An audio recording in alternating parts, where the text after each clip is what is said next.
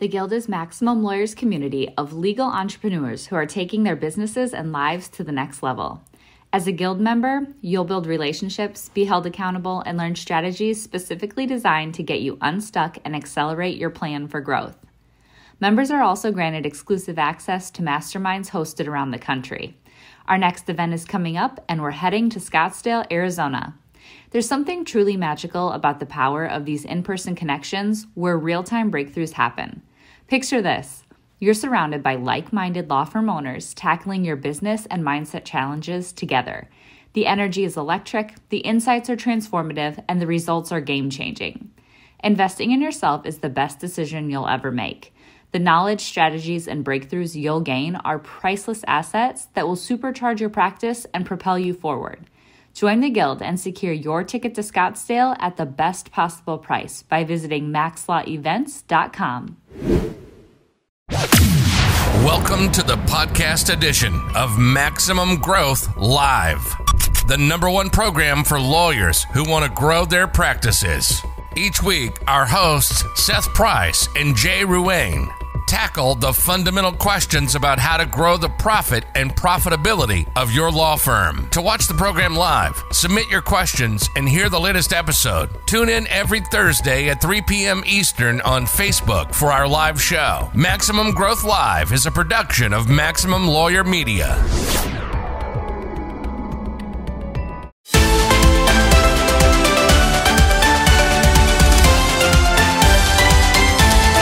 Hello, hello, and welcome to another edition of Maximum Growth Live. I'm doing my shooter McGavin. My name is Jay Ruane. I'm the CEO of FirmFlex, your social media marketing agency for lawyers, as well as the managing partner of Ruane Attorneys, your civil rights and criminal defense law firm in Connecticut. And with me, once again, my friend down there, uh, no longer in Del Boca Vista, but joining me from near our nation's capital, Seth J. Price. Seth is the founder of Blue Shark Digital, your SEO firm for lawyers, as well as the managing partner of Price Benowitz, your DC, Maryland, Virginia, and South Carolina law firm. I'm waiting to hear when you're going to go into North Carolina so I can make it that whole trek down uh, the southeast coast because I don't want you coming up near me, Seth. Seth, how's your week going this week? Going well. Uh, I'm really excited about our guest today. Um, you know, this is somebody who I've been following for quite a while. There was a landmark article a number of years ago in the New York Times, sort of talking about this incredible firm, just you know, less than an hour from where I was, and reached out to uh, to Sheela and sort of was my mind was blown. Things that we talk about today she was doing 20 years ago, putting systems in place, offshore labor, uh, creating something where she was no longer, while she was the brand, she was no longer make doing the sausage making or even the managing. She truly e-myth probably as well as any lawyer we know. So I, I just can't wait to sort of get her insights on her journey. Yeah, you know, I, I, I definitely too. I, I made sure to take it easy yesterday for St. Patrick's Day to make sure that I was focused and able to be present uh, during this conversation today because I didn't want to be dragging, having having had too many uh, uh, shots of Irish Mist and a couple of pints of Guinness uh, uh, on Patty's Day. But you know, one of the things that's really interesting about her story, having read uh, parts of her book, um, was that a lot of this stuff um, even though she went to Harvard, they don't teach you this in Harvard. This is yeah, stuff that nobody out of Harvard go. My uncle was Harvard way back in the day, right? And my dad was Yale. They their classmates like there's like one PI lawyer in their class and he buys the wine for all their dinners. Like it is a group that doesn't go into entrepreneurship generally. They may start companies, but they're certainly not, you know, elevating the B2C law firm landscape. Yeah, you know, it's interesting. Lawyers tend to be very risk averse. Now, our audience tends to be the opposite of that, right? Our audience tends to be people that are willing to take chances. But there's this part of us as lawyers that gets beaten into us in 1L, 2L year about you don't take chances. You look at all the options and then somebody else gets to make that decision. And I think it's interesting that of all the law entrepreneurs that I know that are in our audience, that I've met at seminars, that type of thing, I feel like the people that I have met would have been successful small business owners no matter what business they got into. They just happened to pick law because they maybe were steered that way or had some interest that way. But then when they got to law school, they said, you know what, the big firm life may not be for me. Uh, and they found I'm, I'm that I'm that roadmap, right? I came out, there were no great jobs. The go-go 80s were done, and I grabbed a big firm job so I could check the box. I had no in- interest. If I could have written the script all over again, I would never have gone inside of a law firm. My my job, my my sort of vision for life was something entrepreneurial. It just happened to be a law firm because of my law partner that we ended up launching yeah, it's it's it's a really interesting thing, and, and you know, a lot of people, and I, it's I have an attorney who's with me in my office now. Uh, she is a first generation lawyer, first generation college grad, child of immigrants, and she has this incredible mind and entrepreneurial spirit, and yet she has this this battle inside her because we are uh, we're dealing with she's a woman of color uh, she's uh, her family are, are immigrants and they have a vision for what a lawyer is. And it doesn't comport with her vision for entrepreneurial lawyership. I think that's why she found her way to us after going through a number of big firm and, and corporate and and, uh, and municipal jobs. Um, and but there's a part of her that says, "Well, I need to fulfill the role that my forebears wanted me to fulfill to honor their sacrifice." And I keep saying to her, you know, I want to pull you into my world of entrepreneurship because you have so much to offer. And I'm really looking forward to this conversation uh, because I think that's something that uh, Sheela found early on was I want to go after what I want to go after, uh, and it's a and it's a remarkable message for all of our listeners. So, what do you think? Should we bring her on? Let's do it. All right, we'll be right, bo- right back, folks. Let's hear some messages, and when we come back, we'll have Sheela Murthy with our Maximum Growth Live interview. We'll be right back. The lawyers who will succeed in the next decade are the ones who are focusing on building their brands where people meet, and there is no place better to build your brand than on social media. With the FirmFlex DIY social media plan, hundreds of lawyers like you are using social media to build their brand and become the one lawyer in their community that people know, like, and trust. By spending even just five minutes a day on social media marketing, you can engage with hundreds or thousands of people in your local community who will need your services. By cultivating a network of followers, you build a book of business that you can market to the next decade and beyond. If you are looking for a solution to help you jumpstart your social media marketing, look no further than the DIY plan at getfirmflex.com. The DIY was created by a small firm lawyer for people just like you, helping you connect with local people online and build your brand and engage people in the topics they want to talk about, all for under $100 a month. To find out more, visit getfirmflex.com. Welcome, Sheela Murthy. We're so excited to have you here today. I'm honored so, to join you uh, guys. Sheela, the, the, the lawyer, the entrepreneur, the philanthropist, and, and the recent subject of the book being Sheela, the life journey of an immigration lawyer. Very exciting and a very fascinating read. Thank you so much. I was very uh, equally surprised that somebody would actually want to write about us lawyers you know you're you're not just any lawyer and one of the things that i've been following for a long time and why i would love to have you on the show is you have done something with your with your law firm and i remember early on when i spoke to you you said i don't have a law firm i have a technology play. Um, and uh, the the you know can you share with the audience a little bit about what you built? You were born in india em- emigrated to the us harvard law and and you know a lot of people started law firms not many people have the Murthy firm. Thank you, Seth, for the opportunity again. So, really, I mean, our goal. So, sometimes I define the law or explain that it's not really a true law firm in the sense, like you said, it's sort of a quasi social entrepreneurship business, a law firm, a technology company, because one of the main driving forces for me was to educate, enlighten, and empower the world on the complex and ever changing US laws and regulations. And I remember 25, 26, 27 years ago when we were one of the earliest law firms out there on the internet and still the world's most popular legal website. Uh, a lot of people were like, why are you giving away the store for free? Shouldn't you be charging you know, for this advice or information? And my attitude was, look, the internet's going to change the world it's going to change everything. So we might as well continue to empower and be the go to place that people will trust and respect. And you know with hard work and determination and a little bit of vision and listening to other smart people around me i wish i could say that was all my own brilliant genius knowing how the internet would change the world but alas it wasn't.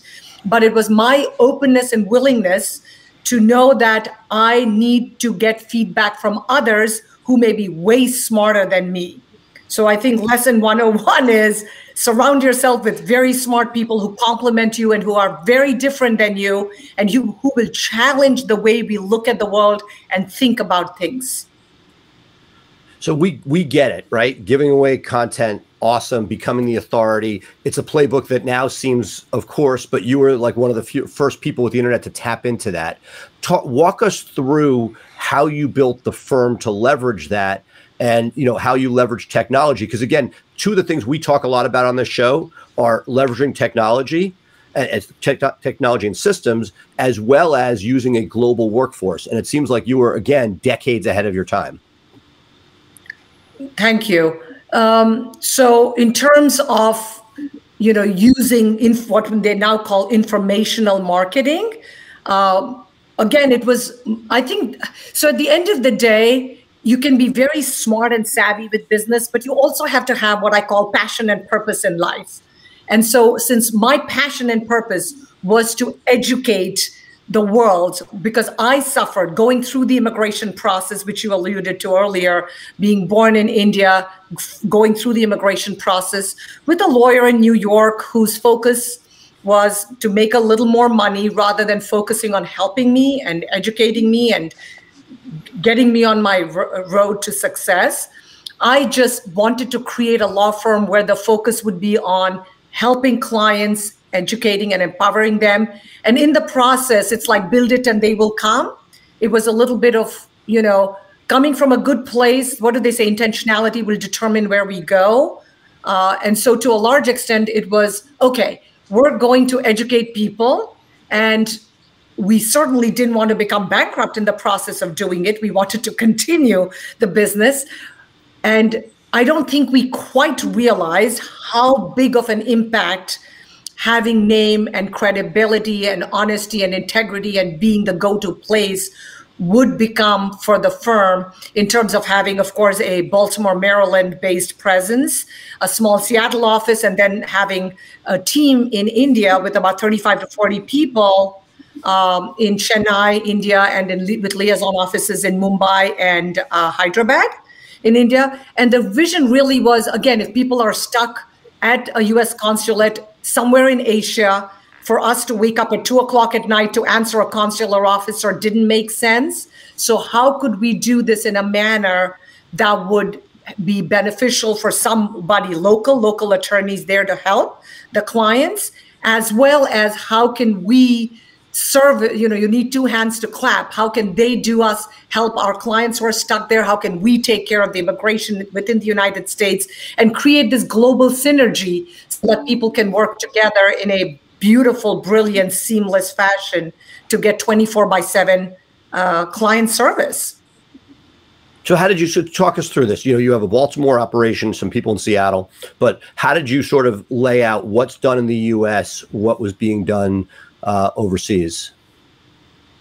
So, all of the work that requires a US lawyer, an admitted lawyer in the United States, to practice as a lawyer and a law firm in terms of representing clients, filing the petitions, filing the motions, the appeals. We get a lot of cases with denials from other law firms or requests for evidence, RFEs. And so we sort of become the lawyers' lawyers to some extent. And uh, so we take on and file those kinds of petitions and applications and processes in the United States. For people who are stuck in India with visa denials, you don't need an US uh, lawyer for that process because, again, you're in a foreign country, and those lawyers who are there are lawyers duly admitted and licensed to practice under India and Indian government laws, but they are practicing US immigration law so it's not really a law firm, it's more like back end operations. But because of the complex nuances of, you know, cross continental laws and the Indian government not allowing me as a US citizen to own and operate an operation in India. I had to actually divest myself of the entire ownership of that company years ago, 10, 15 years ago, because going into it, nobody told me about these limitations. And then you're like, oh my God, I can't own this. So, you know what? Let it run on its own steam, let it do what it will, but it's more back operational support for people stuck there who have legal issues and questions. And now we're even using them, we're overwhelmed with work here to have them do some of the data entry, scan some of the documents, look at the paperwork for us and input some of that data so that when our staff comes in first thing in the morning, some of that information is already in our database and systems. So before I flip to Jay, you know, one of the things that you've done, and it sounds like you've done it for a while, is you've extracted yourself out of this to almost a chairwoman rather than uh, a, a, managing partner. Talk us a little bit about that process and how, how you've gone through that over the years. So that is harder, I think, for most of us as lawyers to give up the control because we're all A type control freaks. We want to control it till our dying day, even if we're 120 by then, right?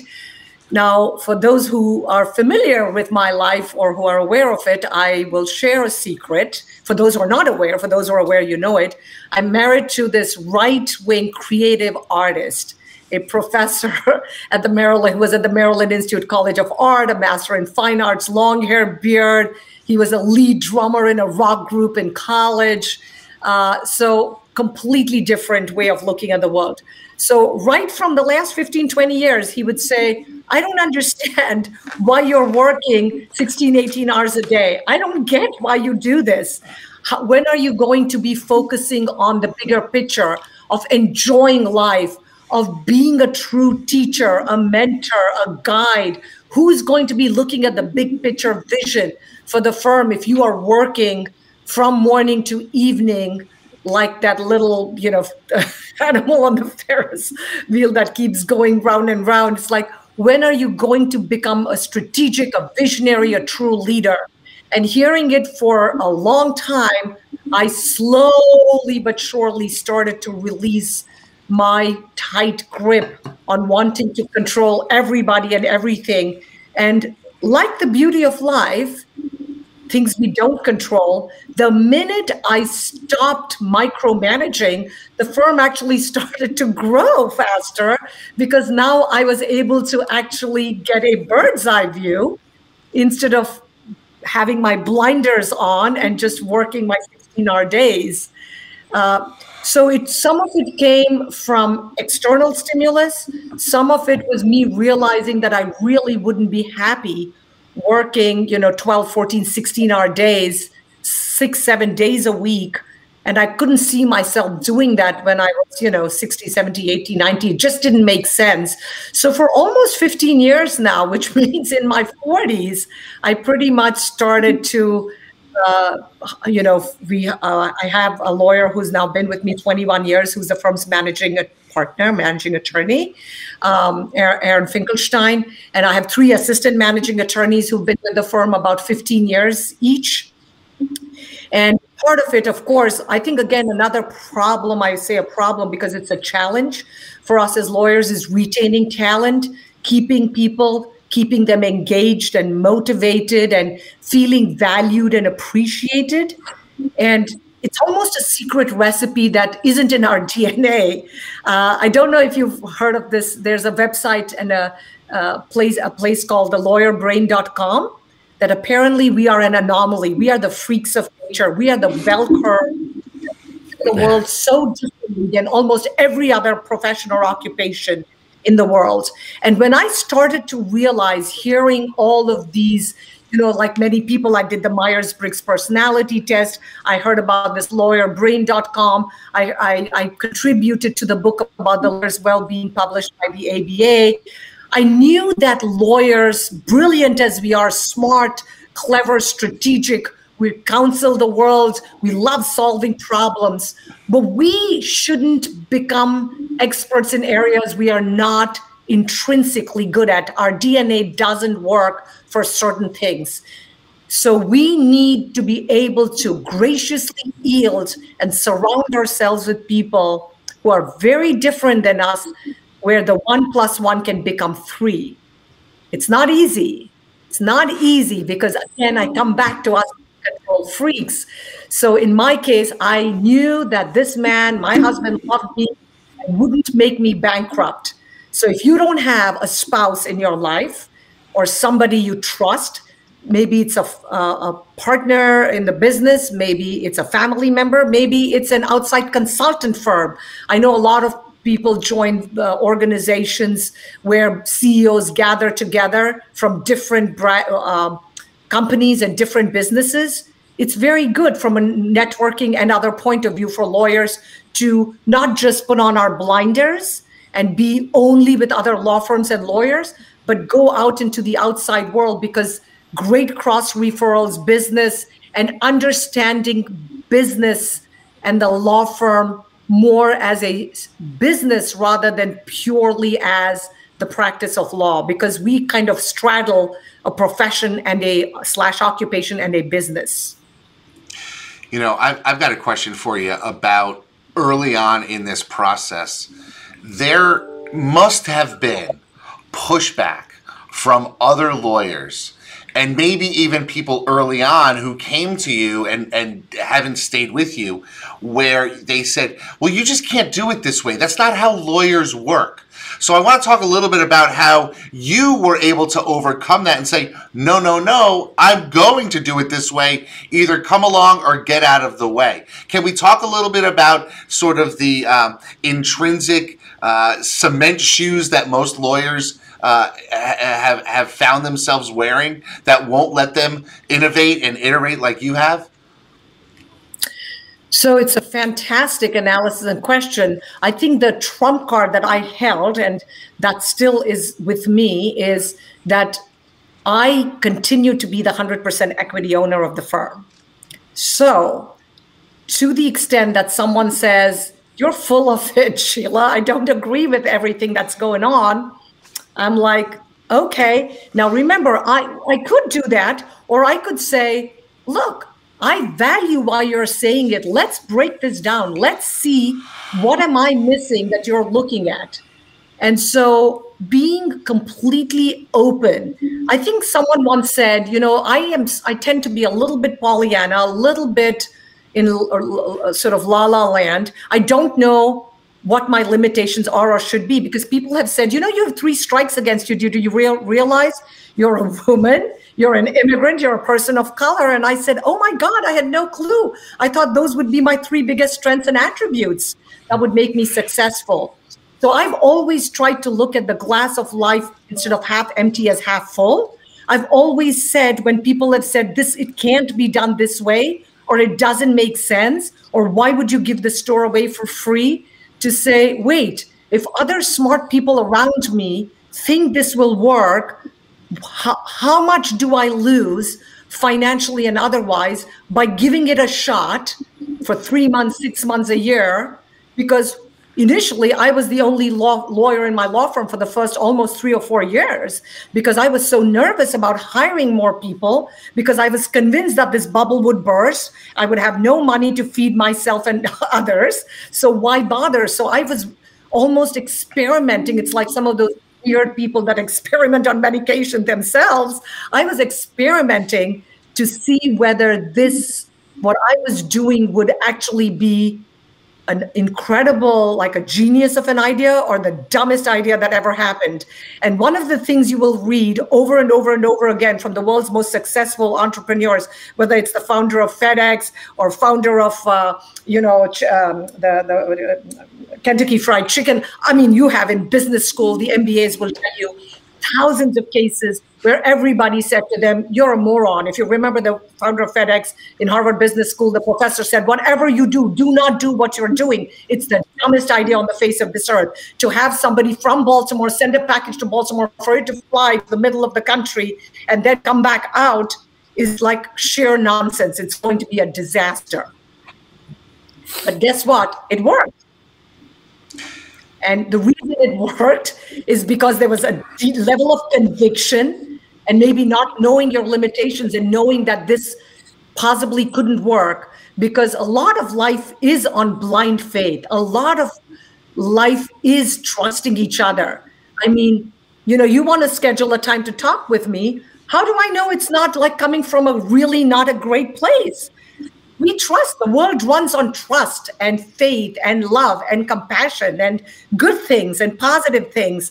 And so when I tell you I run Pollyanna, it's like, okay, I truly believe that if you give, if we all give out good in the world, the goodness will come back. And so giving out that information, that marketing 27 years ago when it was unheard of, answering questions for tens of thousands of people. We had over 10,000 people in a news network digest. Um, and people were like, why are you answering this? I don't get it.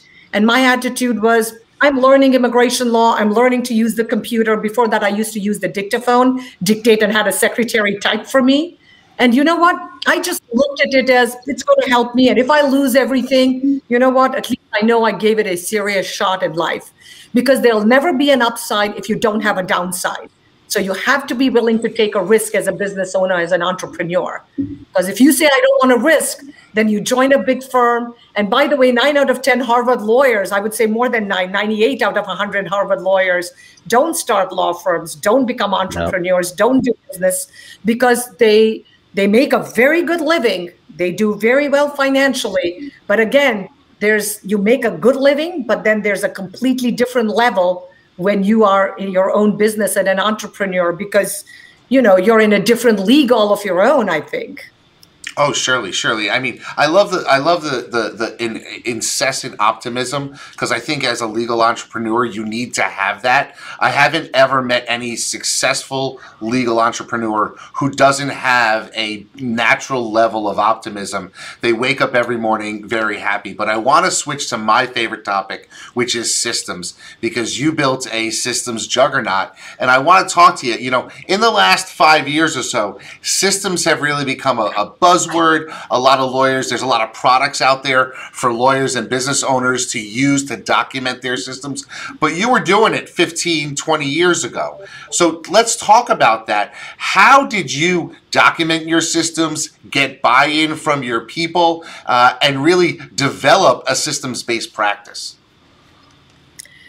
It so the technology was evolving the world was changing the internet was expanding uh, computers were getting less expensive.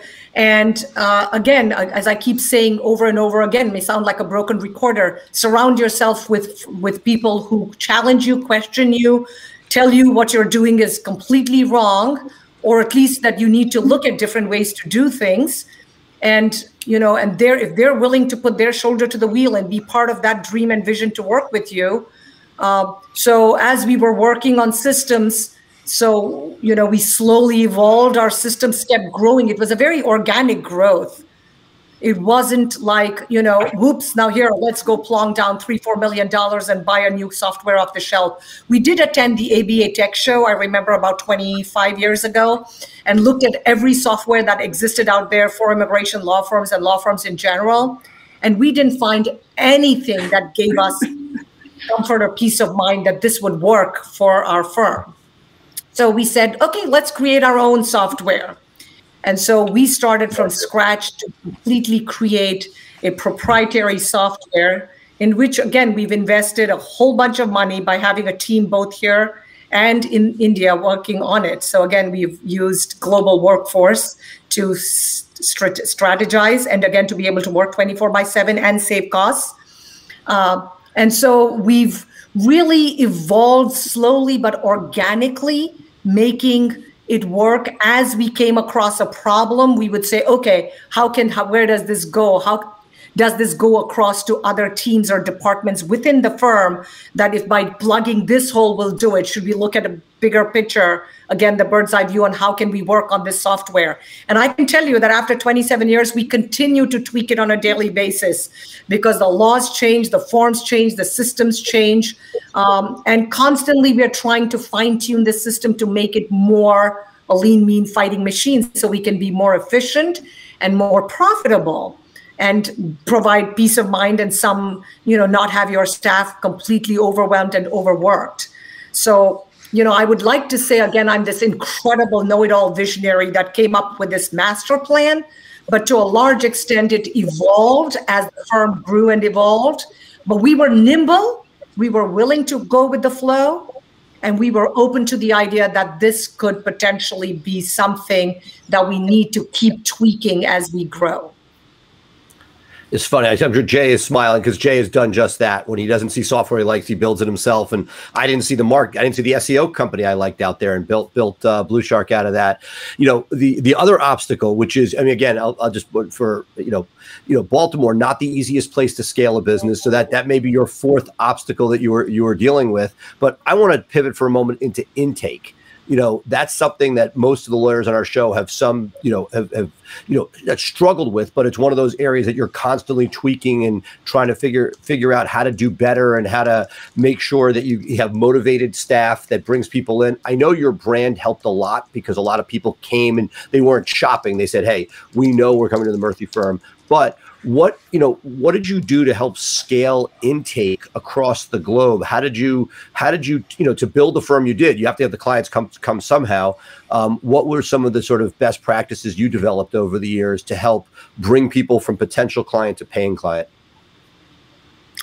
So initially, Seth, it was obviously an issue in terms of most people wanted, they were so used to getting everything for free you know 27 years ago and nobody paid for somebody that they just found on the internet. And there was also the issue of like you said name reputation credibility integrity you know how do we know these are not legit how do we know these are not scam artists that were going to take our money and run away with it? So you build trust one person at a time one client at a time. But the beauty of course of the internet was just as quickly as the bad name can go around, the good name can go around too. And I sort of didn't understand completely the power of multiplication 27 years ago. But as more and more people started getting cases approved, we started seeing the the referrals from them and their family and their friends and their friends' friends and posting on the internet that hey this is a law firm and a lawyer you should use because you know she's a harvard lawyer and she, they, she cares and she'll fight for you and i am by nature a, a fighter. Like I think many lawyers have a fighting, you know, in our DNA. Uh, and I love the fact that I don't like hearing no. I love winning for my clients. I don't I don't like it when I feel the government's trying to pull a fast one and you know issue a denial on a case that is either clearly in our favor or certainly there's enough gray area that I think we can you know argue a, a point and try to win and fight for the clients. So you get the name and reputation of someone who's proactive, who's caring, who's dedicated, who's going to be a pit bull and not let go. When the government, if the government issued a denial, we would go back and say, well, okay, is it cheaper to file an appeal or cheaper to just file a new case for you so that we'll get you the green card one way or the other? So we did what it took to get to the results of helping the client. And we did it, and I did it purely out of the goodness of my heart because I don't like seeing no and getting denials. I think we have, like most lawyers, we like winning, we like winning for our clients, and we like problem solving. And so I used the DNA that works in my favor to build the firm. And in areas that I knew I had an Achilles heel and I was very weak in those areas, I surrounded myself with people very different who would compliment me and ask me to look at different aspects or angles of the issue. And the intake system kept again growing and evolving. So we started off very big, you know, overall, and then tuned it and fine tuned it and worked on it. And it's still a work in process. It's still a work in progress. We're still continuing. It's a process, a system that's never going to be what do they say? I think once Tom Friedman said that in one of our talks where I was the chair of the Maryland Chamber of Commerce. He said, if you say you're finished, then you are finished. You can never ever be done in life. You're always improving, you're always fine tuning your process, and you need to continue. And the, the other thing he, he said, which I completely agree with, is that PQ, persistent quotient, and CQ, curiosity quotient, will always be more important than IQ. Uh, and so, you know, as an immigrant, I think immigrants bring so much. Immigrants can teach Americans so much, just as much as Americans can teach immigrants so much because you are so open to the world. You're coming to a new country, a new culture. even understanding the thick American accent is a challenge on the first time. But just knowing that, you know what? It's such a great country. It's got incredible, uh, you know, opportunities. It's the land of milk and honey for most of us from outside. Yet a lot of people here see the problems and the race riots and the tensions. But we from outside sometimes come in with almost, again, this childlike innocence slash ignorance and think that, oh, I can do anything. I'm in this incredible country called the United States of America. So when someone says, here's a hurdle, Sheela, I'm like, what hurdle? That's like fun. That's a challenge. Let's go cross it and then go to the bit. Let's cross the next hill and the next hill and the next mountain and the next mountain. Sheela, I have a I have a, a question for you. You you successfully scaled uh, to to a size that many lawyers aspire to and most lawyers can't achieve. Looking back now, do you have a specific hire or category of person or type of job that you hired where you can say, man, if I only hired that person or filled that role two or three years earlier, my life would have been so much easier. Where can people who are looking to scale say, if I'm going to hire, I should hire this person sooner rather than later? What, what's your input on some a question like that? Good question, Jay. So, in general, I don't tend to look back and say, oh, I wish, I wish. I try not to because, again, it's the eternal optimist and the person that says, you know what? If I made all those terrible mistakes, those mistakes are what have helped me to become stronger and better today. If I hadn't made those mistakes, I might never have appreciated the importance of retaining people. And talking about the importance of retaining people, especially in law firms, my first, and I shared this in my, my book, in the book that uh, you referred to, the biography on my life by HarperCollins, where I ended up losing three of my four paralegals within a one week period. That was 75% of my law firm walked out on me in the first couple of years of my running it in the beginning i always would say oh they're lazy they're incompetent they're not as driven as motivated they, they don't buy into my dream. I was basically pointing the finger at them rather than pointing it at myself. The minute i realized that the underlying problem with all those three people wanting to quit was i me my i me and myself that was the only one person i could blame on the face of this earth it was very painful it was very difficult because I had to accept that I was somehow chasing away people because I did not appreciate what they brought to the table, their limitations, their strengths. And if they didn't buy into the vision and mission of the firm and my glorious goal of educating and empowering the world and taking away all these problems, then it's ultimately my fault that I do not sit there and invest the time to share the firm's vision, mission, values, and goal, which now, by the way, we have regular meetings with staff, with new staff, with with existing attorneys, with paralegals, and I go through rooms. I invest time on human capital because what do they say? The most valuable assets in a law firm walk out every evening when you go home, pre-COVID days. They went back, they could now now in a COVID world, most of them can work anywhere in the country or anywhere in the world for whoever treats them right, respects them, and pays them maybe more money. But people don't leave only for money. People leave because they eat. We use the word ego, ego. If you hurt somebody's ego, we don't treat people right, intentionally or unintentionally, doesn't matter. We will lose our best people and some of the most creative people tend to have super sensitive egos. So if we want to have so when you say you know should i did i get somebody did i not? I will tell you i did notice initially and maybe it goes back to the world 27 years ago uh, jay and said that very few men were willing to work under a woman 27 years ago. Because I was young, remember, you know, now I'm in my late 50s. So I was in my 30s, late 30s, or, even, uh, or, or early 30s, I guess, or whatever, right? 27, mid 30s.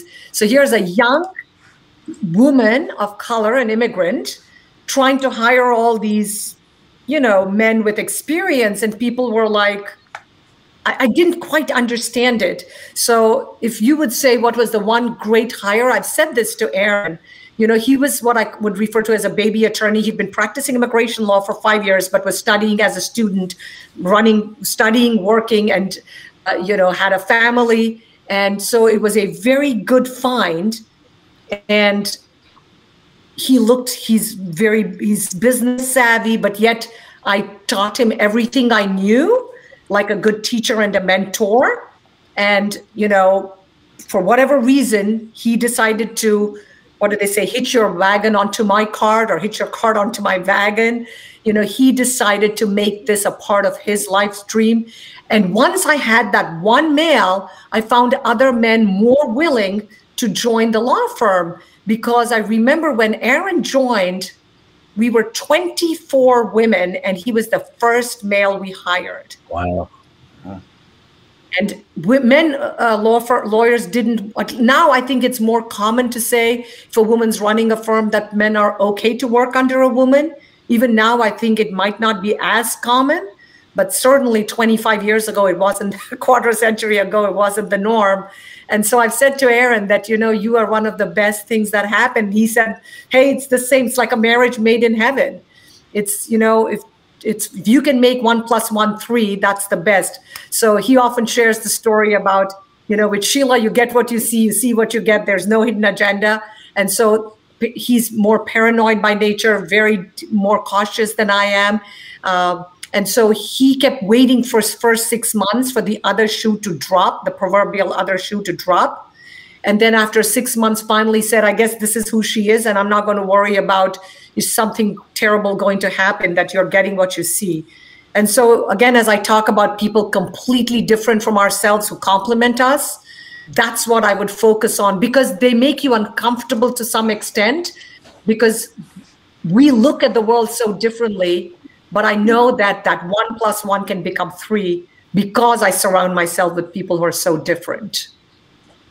That's awesome. Well, Sheela, thank you so much for your time today. Uh, the book, which we'll put up, is Being Sheela, The Life Journey of an Immigration Lawyer. What an amazing journey it has been. And uh, we uh, thank you so much for your time today. Yeah, it's we'll been an honor and a pleasure. And I really hope we influence and impact a lot of young people to thinking outside the box, to being open and creative, and not second guessing themselves. It's a combination of your gut and your mentors and people you surround yourself with and it's not just the practice of law, because the practice of law is integrally connected with us as human beings. It's enjoying the journey of life as a human being. And I get back to the spirituality of it because we're not just human beings going through the spiritual experience, but we're spiritual beings going through the human experience. And as lawyers, we truly can solve problems, empower people, help others, and in the process learn, grow, and become better as lawyers and as human beings. So good luck to everybody. Thank you so Thank much, you so Sheela. Much. That's just a great positive message to end our segment here. And folks, we'll be right back with more Maximum Growth Live. In this world today, if you want to grow your business, you want to grow your firm, you want to take on more cases and make a bigger impact, you have to have a digital blueprint. Statistically, throughout the time that we've been working with Blue Shark Digital, our law firm, the Atlanta Divorce Law Group, grew over 1,400%. Seth and his team have years of experience in this area. Blue Shark is truly a part of the firm, so I don't consider Blue Shark any different than the employees in my office. Hey, it's Becca here. I'm sure you've heard Jim and Tyson mention the Guild on the podcast and in the Facebook group. The Guild is this perfect mix of a community, group coaching, and a mastermind. Guild members get so many benefits, including weekly live events and discounts to all Maximum Lawyer events. Head over to MaximumLawyer.com forward slash the Guild to check out all the benefits and watch a few testimonials from current members. So head to MaximumLawyer.com and click on the Guild page to join us. Now, let's get back to the episode. Wow, Seth, just, I mean, some really, really interesting stuff there uh, about her journey. And um, I love the positivity. I, she's just got, you know, having a conversation with her, you can feel the warmth and the positivity ooze out. What were your takeaways? No, and it was, it was fascinating for many of us who are not even as far. I mean, she's further along than most of our audience. The fact that she's figured out all these different things, she figured out how to leverage global labor She figured out systems and software before you could just go buy something. Uh, the idea that she elevated a brand where she went from lawyer to manager and then clearly has elevated herself even beyond that to somebody who can, you know, play chess and move. You know, if there's anybody that we've had on the show who is truly E Myth, that uh, I feel like uh, that, that's our guest today. That was that was just awesome. Yeah, it was just really good stuff, really good stuff. So, what we're going to do now is we're going to end this week's live show, folks. Uh, a couple of cool things for you. Number one, you can always catch us on our own standalone podcast, which is available wherever you get your free podcasts, either on Apple, Google, Spotify, Amazon. We are there. It's called Maximum Growth Live. Please subscribe, check us out, give us five stars. We love to see your feedback there. Of course, every Tuesday and Thursday, you can catch us here live on Facebook with our Facebook Live live show. And you can actually go on our Facebook page, facebook.com backslash maximum growth live. And you can watch any of our prior episodes. So if you hear us talking about one that interests you, you can watch it on demand at any time.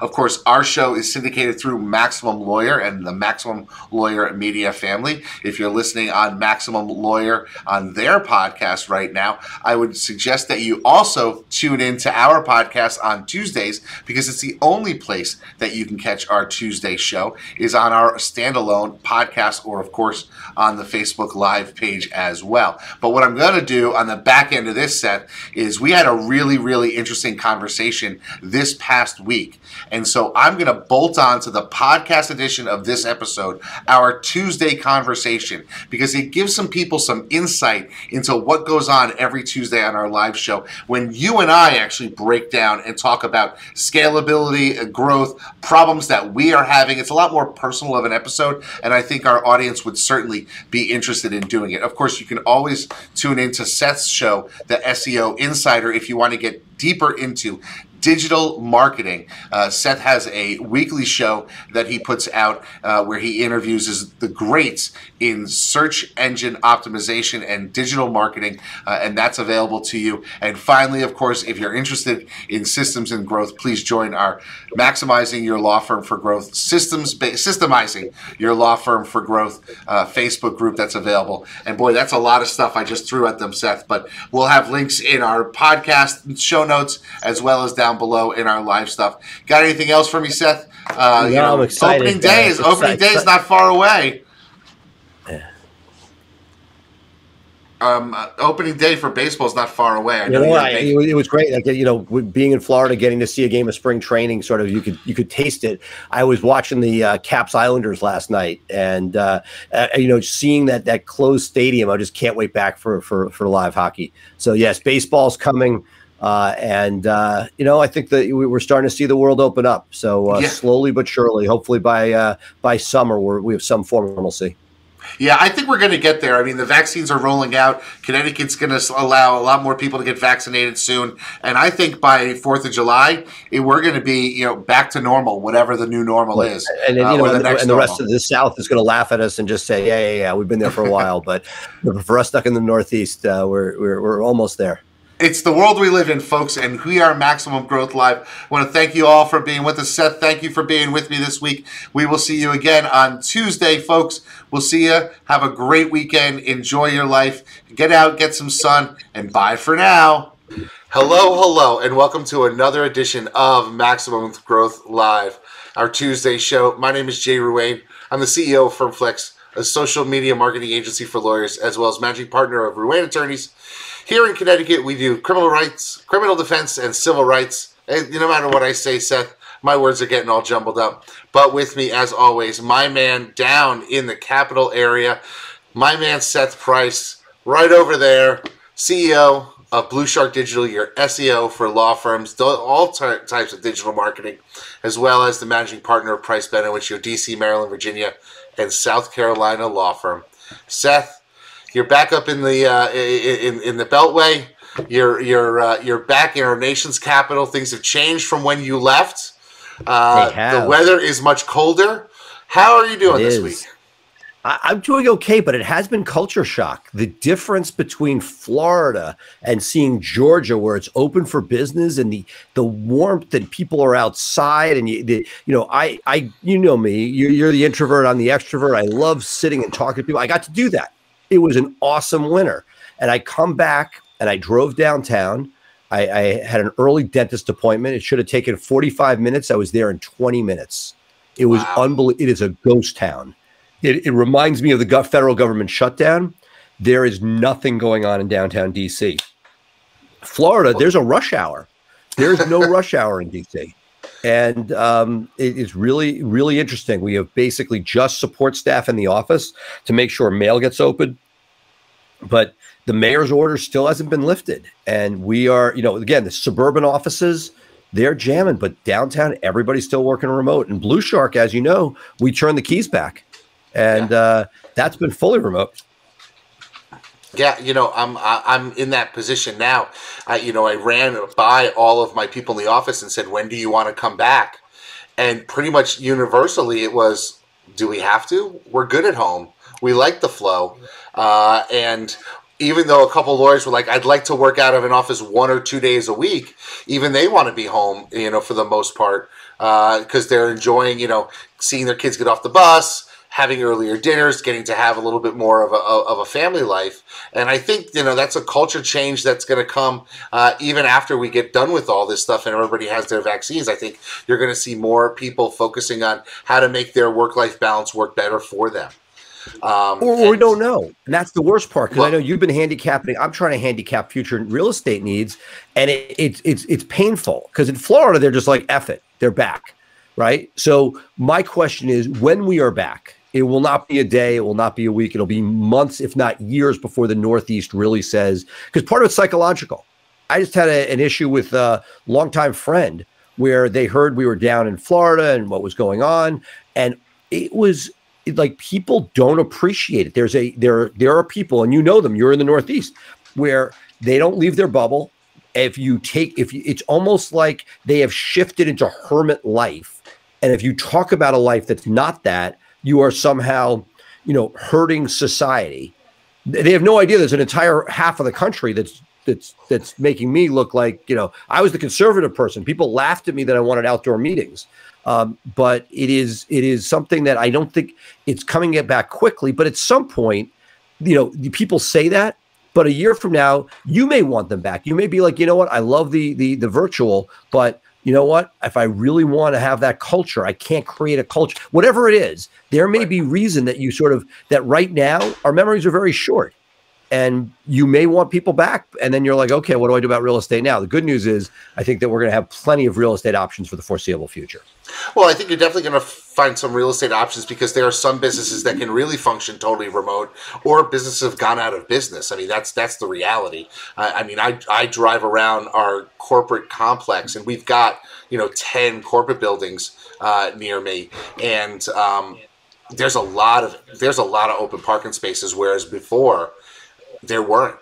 Um, and- well you can't and- tell if that's because they're closed or if they're if they're remote well, I can tell you right now, uh, a major corporation had three floors of, of one of our buildings and moved out. I mean, they're Unilever. right and that's and I the mean, that's- question that's- is just like blue shark right so there are people and th- these guys were playing hardball with our lease even during covid and the place is still vacant so who knows Yeah, I don't know. So, speaking of the future and and where you go, this is something that I wanted to talk about, and we haven't really talked about it uh, recently um, on the show. It's something that I've been talking to you about for years, and it's the concept in a law firm of research and development. Um, and so what I want to do is I want to throw that out there. Let me take a quick break. You'll hear from our sponsors, and when we get back, I want to talk about the role of R and D in our law firms because I think it dovetails into a question I want to have a conversation with you about about how do you grow and how do you grow intentionally. So let's take a quick break. We'll hear from our sponsors, and when we get back, we'll be back live with more Maximum Growth Live.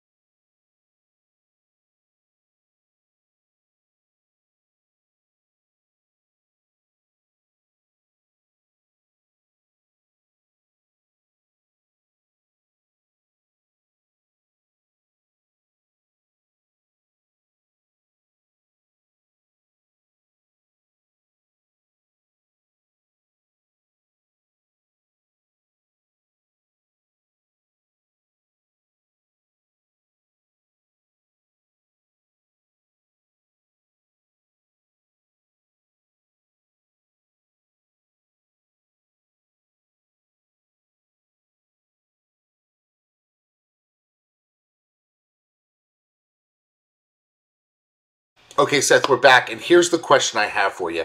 I'm talking to some of my, some of my friends uh, in the last two weeks, and they are in uh, the the drug business. They were not, not not the drug dealing friends I had when I was in high school and college, but they are professionally chemists that work for chemical companies. Uh, and they were talking about how they were coming up and, and doing their budget for in their de- departments R and D and what they want to do. And I said to myself, you know, as a law firm, I'm a business too, but I don't segregate, you know, three percent or five percent a year for something called research and development, just to see what's out there. And I'm wondering if you do that. You know, good question. I definitely do it on the marketing side, right? We experiment with stuff right. whether it be some TikTok or some Instagram. You know, I punch. I you know, I you know I, I I'm still the antisocial guy because I've not cracked the code, but I definitely on the search side. And part of what I love is we get to experiment with stuff at Price Benowitz, which if it works becomes blue shark material. It's almost like a comedian. Uh, you know, it, there was always the, um, the, the, the the musician. The Paul Shaffer always talked about. You know, he'd try something out on Letterman, and if it worked, he'd play it for his friend in a bar. You know, yeah. I, I always love that, that sort of analogy. But like, I, I so I love that piece of it. But the piece that is sort of I've probably gone a little bit overboard with was sort of experimentation with different practice groups, if that's what you're getting at, and the idea yeah. of like you know trying different things out to see, hey, maybe this will work. And it's funny because I give you flack all the time for the J. Ruane idea machine and the and, and the idea that we should be quarantining stuff for X period of time before we roll it out. But I'm probably as guilty as anybody because you know I love the fact that we diversified, but it's also you know it leads to other issues because then you have all these different babies out there and you have to take care of them. And that's and that's the question. That's the fundamental question that I want us to talk about today is as you want to grow your firm do you think it is better to double down, triple down, find your vertical and really go all in on that vertical and build that vertical? Or do you think the smart law firm owner, especially knowing what we've gone through in the last 15 months, will start to diversify once they get to sort of critical mass in one particular vertical so that they have other niches that are working um, in case of economic downturn or shifts in the market. What is the right approach to this? Because this is something that a lot of lawyers that that are now coming out on the back end, having survived something that was monumental need to start talking about now and budgeting for and planning for and working into the if you're doing EOS you make it one of your rocks per quarter to identify these things. Let's talk about this because I have a feeling our perspectives might be a little bit different. So where what where do you come on on this thing Right. So, in a, you know, what would make the best TV if I said absolutely this is the only way to go, and we sort of had the back and forth. But like most things in life, if we're being honest about it, and we don't want to be a sensationalist, it depends. It depends. It depends. That said, you know, I I feel that you know, mo- in moderation, all of these things can work. There is a yeah, but that's, that's what I'm saying, Seth. You can't start no, no, a new vertical in moderation. Underst- well, yes. Okay. So what I would say I is, first, it depends what you like to do, right? Second, it depends on the appetite for risk and the bandwidth you have to execute. So for myself, I love the idea of diversifying because it's it's nice in the sense that you have ups and downs. You have a cat. I mean, the number of people I've said, "Hey, you have a plaintiff's practice and a criminal defense practice, and you you know you you know you have cash flow." That's really positive. The downside was there was a point in time where we just did criminal, and we could say, oh, we just do criminal, we do nothing else. That's why I've marketed that way. I want the marketing to remain unique. But yeah, I, I would say that if, if as I reflect and as COVID has shown, I've I've seen that you could you only have so many hours in the day for yourself. So depending on your model and whether or not you're running it, my model was to bring in other people to run those verticals. The downside is you're now betting on somebody beyond your own person. And if it, you control it, so if it's a pardons practice, and even though you may not be the main lawyer on it, your thumb is on it, you know what's going on, and it's a scalable widget because a limited amount of your time and a lot of staff time, God bless.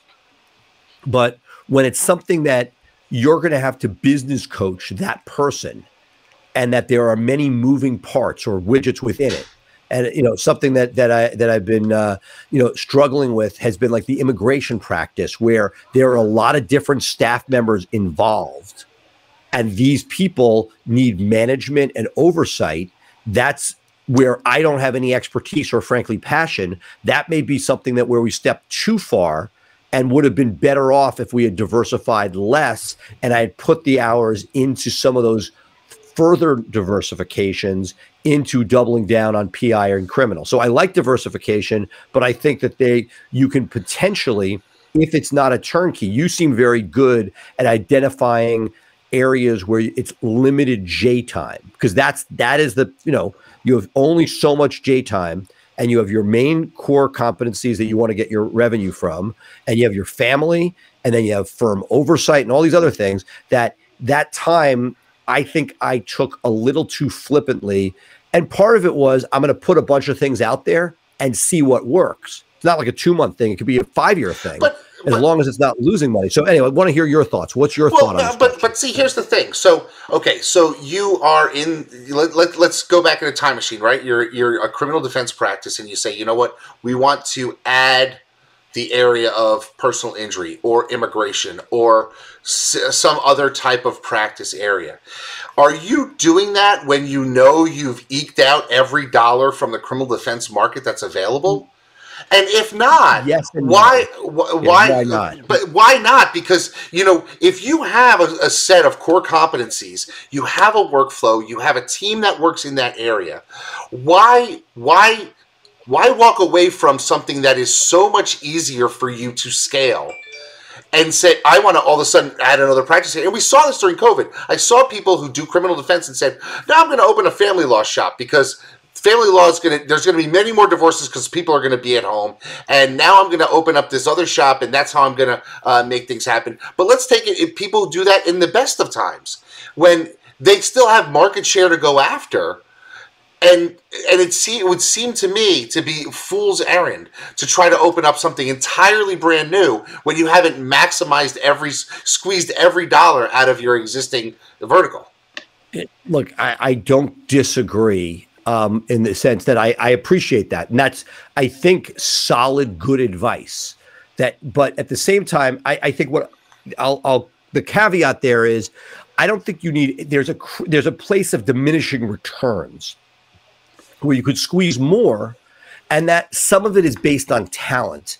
And as you move away from the mothership, let's say Ruane Attorneys was going to end up with New York and eventually New Jersey for criminal. Not crazy. The way you dominated, there was no biggest player in DUI in New York and in Northern Virginia. You could have, with your connections in the college and DUI DLA, you could have expanded your footprint. But as you expand, you need that higher level talent. And as we know, this is when you move outside of, of the immediate, uh, you know, over under your thumb. As you do that, the piece that to me is really significant is getting talent that is senior enough that wants to do the work, but is not so entrepreneurial they want to do it themselves.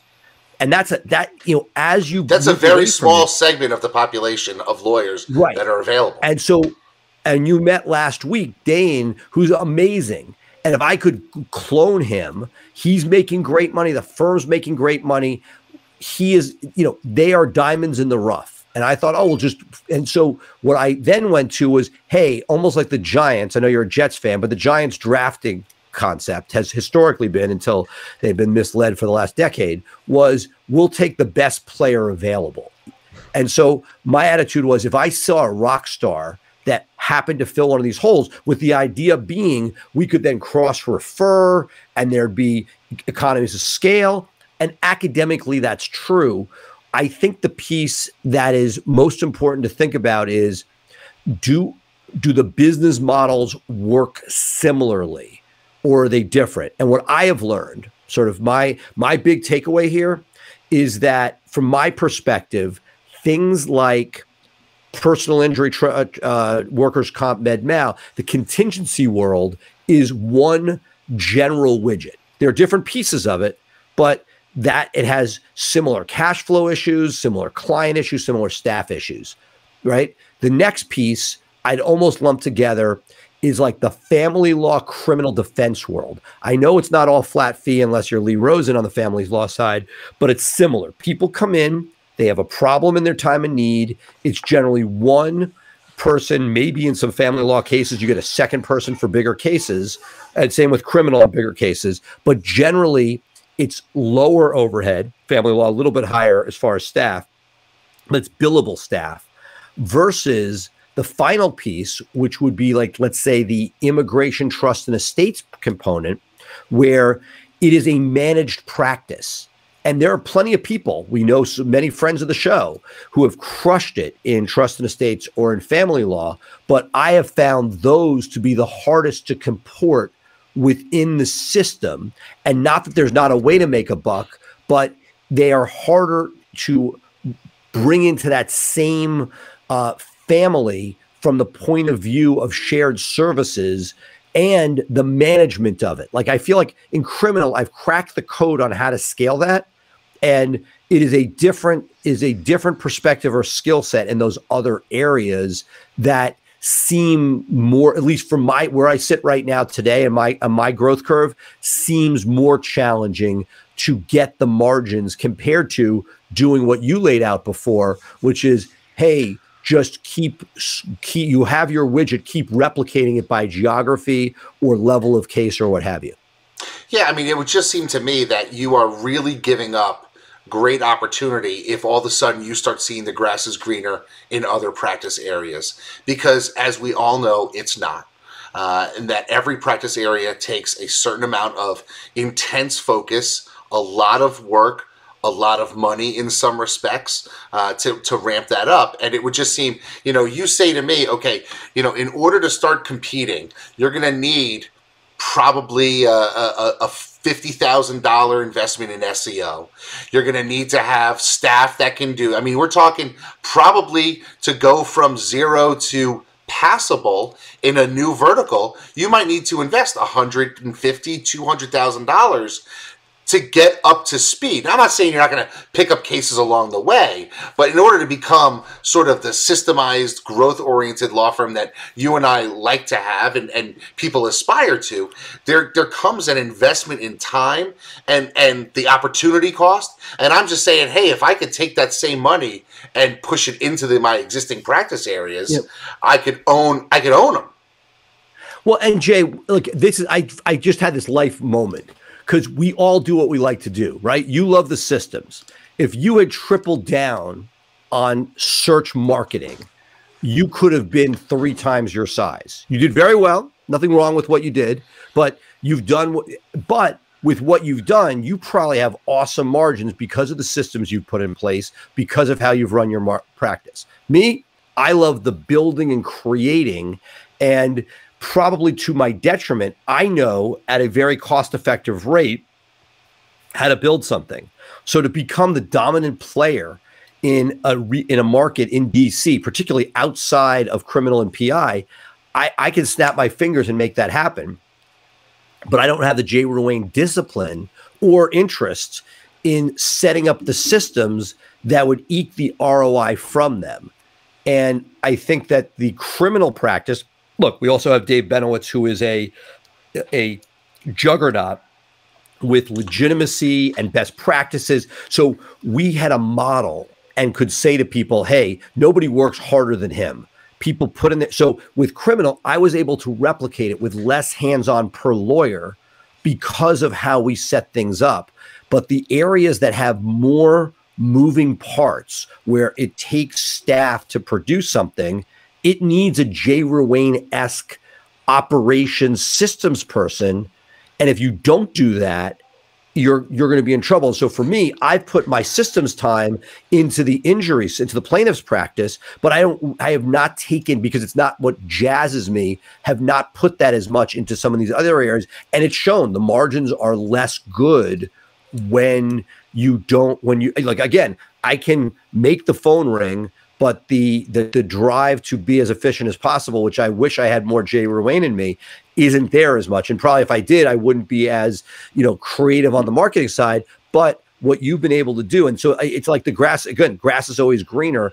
I know that I, you know, it's it's almost like I can make the phone ring, but how do I squeeze the the juice out of the out of the uh, the orange. Right. To mix two metaphors and this and this comes from me you know reading business magazines for years where they say you know your best customer is the customer that you've already sold to you know for a snickers bar or coca-cola or whatever product it is that you can replicate. But you know for the most part in our industry your clients are one-offs right? I mean i mean there, there's always the opportunity for a second client or, or, a referral from that client.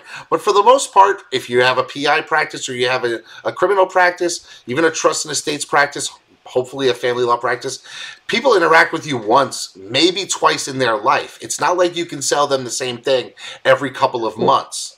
And, and so my my own thought was, yeah. hey, if I double down and I really focus on converting as many of the people that that come to me. And so I just said, you know what? I'm spending extra money on on you know remarketing to people that I've already been to, uh, you know, talking to people and hiring people to help me craft a drip campaign. Because if I've already paid for them to get to me and they know who I am, I want to convert them as best as I can, and I don't want uh, to spend money or time or effort thinking about, hey, I'm going to bring in PI cases because the, the chances of that scaling in a hyper competitive market are very difficult. Whereas I know I'm already halfway to owning one area uh, in, in, in, one niche, and that's the that's the the quandary. I, I I'll go right out and tell you, I don't think you should diversify. I don't think you should build new verticals because all it does is make you build verticals and then either um, you, you invest more and more money and you detract from your your your golden goose, the one that's making you the, uh, uh, it's taking away your time from that, or you're wasting money on something that you don't necessarily have passion about. You're doing it just for the money, or you're or, or you're taking a, attention away from and allowing people, competitors, to come up in your golden goose space, uh, and and so there, to grow your firm. I don't think you should be thinking about adding verticals until you know you've squeezed every dollar out of the ones that you have. I'm going to make that statement. And I think that, like most things, I don't like extremes. I like diversity. I think that here, from look from an academic business point of view, absolutely. But for the people that diversified and had something other than criminal, they were pretty happy during COVID right? That there was that there was that diversity. I mean, criminal is what probably the hardest hit of any of these uh, verticals outside of tourism, and um, you know it was that. So to me, I, I like I like it. I get your point. But look, don't don't follow my model. I may have gone too far in diversi- diversity. I thought, and again, one of the things that I sort of I bemoan and wish I had I have I wish I could do better at is the cross selling within, and because it's amazing, even within our PI clients come back for more PI. I, do we get the occasional criminal client that needs PI? Yes, but not nearly at the rate that academically it should be. So eh, to me, I was counting on a better cross selling within the practice than I would have than, than what I've seen. You know, I it, intuitively, I, I, I would have thought it'd be more, but I, I think that that's too extreme a position. That yes, you could get more if you stayed focused, absolutely. But for many people out there, if you can somehow diversify, those are things that'll get you through some of the lean times, and it also depends who you are you know, you know me well enough. It's like it, it, gives me an an opportunity to think about something differently. But you know, look, I think what we're both looking at is the grass is always greener. Did I tell you the story about my neighbor? No. Uh, I don't know if I, if I, shared this. So I'm sitting at uh, my my lawn is objectively not very good. It's historically been a bunch of dirt with some crabgrass because the kids rip everything out. And I finally, you know, got got a, a guy who sort of made it look halfway decent, but it was still just adequate. And the lady across our backyard, her father-in-law is a, gardens in his retirement, and their lawn is extraordinary. And she looked over the fence one day, looked at my mediocre lawn, and says, "Oh my God, that's so beautiful. Your, your grass is awesome." And I said, "You realize, lady, you're the living embodiment of the grass is always greener." I mean, it was literally that. That was it. Like um, that's where where it came from. And I and I feel that like yes, you don't want to do it because the grass is always greener. Like I'm doing criminal. Oh, there's more money in family. I get that. And I agree with you. But I think diversity is not such an awful thing. And while we've seen some people that have focused and got and dug really deep into one area and have done very, very well, um, and and have built you know really substantial practices. I, I personally believe that the diversity is something that has merit. Uh, it's how it's just a very difficult thing to execute. All right, folks. So that's our opinion when it comes to diversity. We're going to take another quick short break, and when we come back, we're going to wrap up the show. I got something I want to talk to Seth about about Google My Business, and it's uh, it's going to be interesting. So stick with us. We'll be right back with more Maximum Growth Live.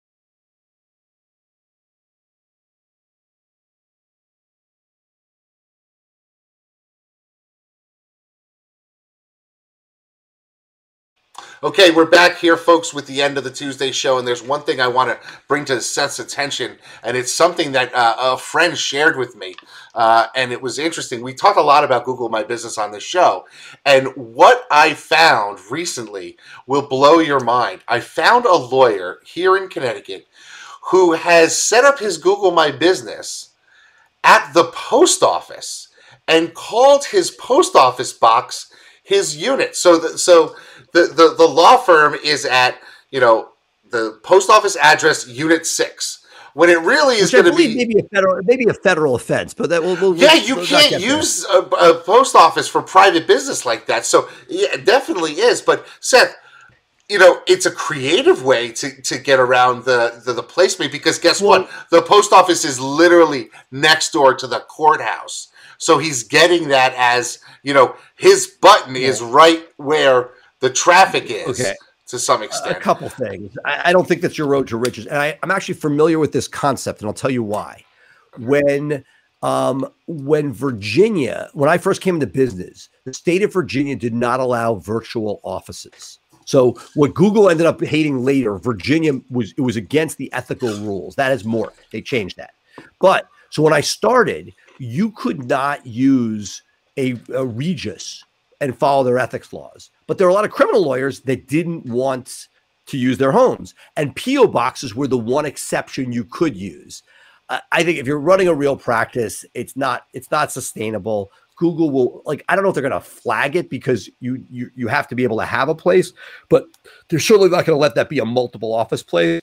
So I don't think it's a road to riches, but it is it's certainly creative. In this case, you know, if as as people go, if you're a competitive market, somebody will go and change that to be a PO box. In which case, it looks kind of ludicrous when somebody's trying to find their lawyer. Yeah, it's just it's just interesting to me. I mean, the place has got 37 Google reviews, so people are actively using this GMB to leave reviews, etc. Uh, but I just think it could it could hurt you long term. Uh, oh, absolutely! I do not recommend that. I um, definitely and, and before we wrap up, I got one other thing uh, for the antisocial lawyer. I've been playing around a bunch with Clubhouse. Uh, I now have two. I, I have two clubs. Uh, they, oh, wow. they, they are sanctioned by Clubhouse. Uh, we every um, Tuesday night at 7 p.m. The SEO Insider, which is uh, where I bring in different thought leaders in digital search, and we, we've had a great conversation in there. It's been a lot of fun. And then on Fridays, I hope you'll join Jay. I set up a, a max growth uh, clubhouse uh, club, and uh, hopefully we can continue the conversation with uh, people outside of our own little fishbowl. Uh, it is amazing how many people listen to our fishbowl. We really appreciate yeah. it. We have when I was traveling through Florida and Georgia, I'd meet people and they're like, "Yeah, I listen to you every week," uh, and it's certainly we we are having an effect. And I figured I will I will try to be slightly less antisocial uh, and uh, see see how this new platform treats us. You know, it's funny. It's it's amazing how when you start to travel and your worlds start to collide. I saw our friends, uh, one of the Jersey guys, Bill Colarulo, today commented on another friend's post, and I'm thinking, how are the two of these people friends? And why are they friends? And it's worlds colliding. That. And I, I am like, it happens all the time. I'm like, oh my God, how does Bobby know Bill? And how does Bill know Bobby? And what does this mean for me in the middle? And it's blowing my mind. So I, am getting I on the phone with both law school friend who's in Umansky Circle in Orlando. has like doesn't realize that Umansky has this huge national following, and and and, and, it, and it, it's like, how do you know Bill? I'm like everybody knows Bill. Everybody knows Bill. Well, everybody does know you, Seth. That's I mean that's the reality. And one of the things I want to do, in addition to your clubhouse, invite people to join our Systemizing Your Law Firm from Growth Facebook group.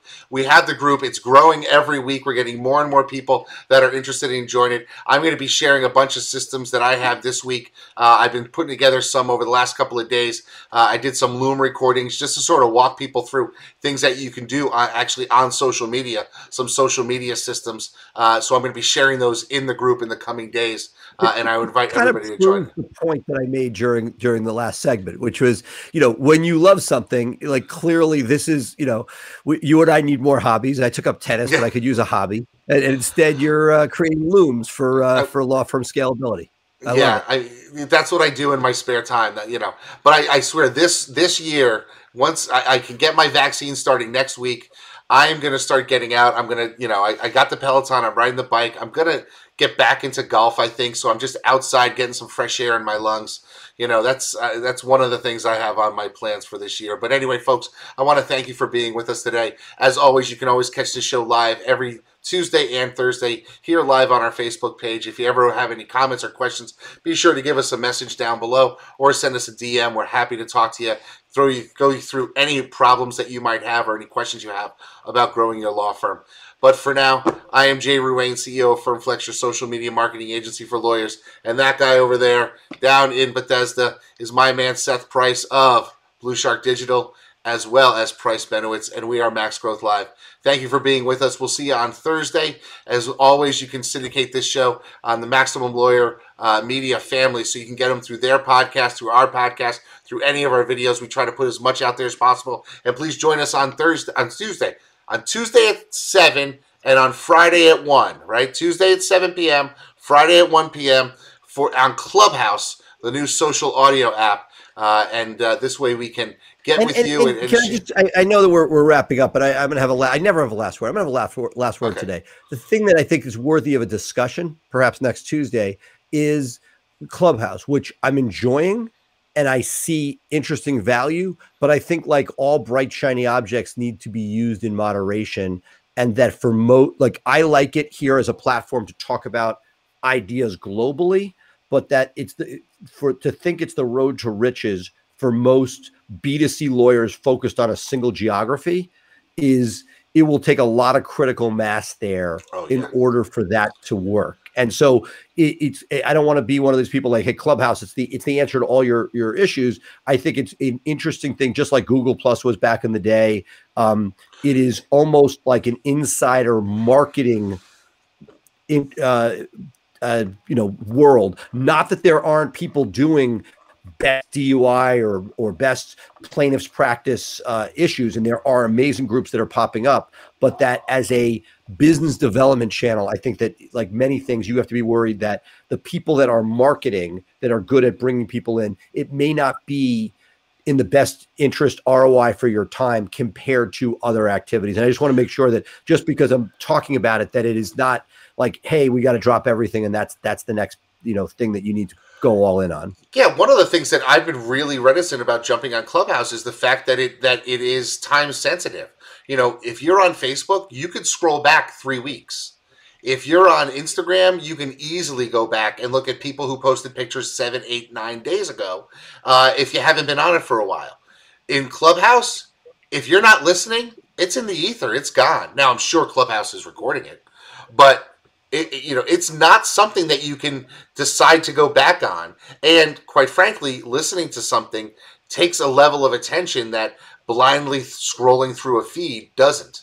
Um, you know, and I, and I think that's part of the attraction. It takes us back to the days before DVRs when or when you were listening to the radio and it was a talk radio and something happened, it was gone. There's a certain excitement that I have not heard since early talk radio with that live host bringing people in, taking callers. That it reminds me of early Larry King, and I think that that that sort of like old school effect is part of the allure. That said, you know, it, you know, it, it, I'm not sure that this is again. It is fun to experiment with. I'm trying to be less antisocial. At the same time, I just want to make sure that we are putting that caveat that this is not drop everything and this is the, the there. But if you enjoy it and you want to check it out, why not? Absolutely. So be with us this week on any of our live shows as well as Clubhouse will be there for you. But for now, I am Jay Ruane. He is Seth Price. We are Max Growth Live. Bye for now. Have a great week, and we'll see you on Thursday. Thank you for listening to Maximum Growth Live. Please remember to subscribe to our podcast for the latest episodes and tune in live on Facebook every Thursday for our live show. For more information, visit Maximum Growth Live on Facebook or MaximumLawyer.com and be sure to share us with your friends.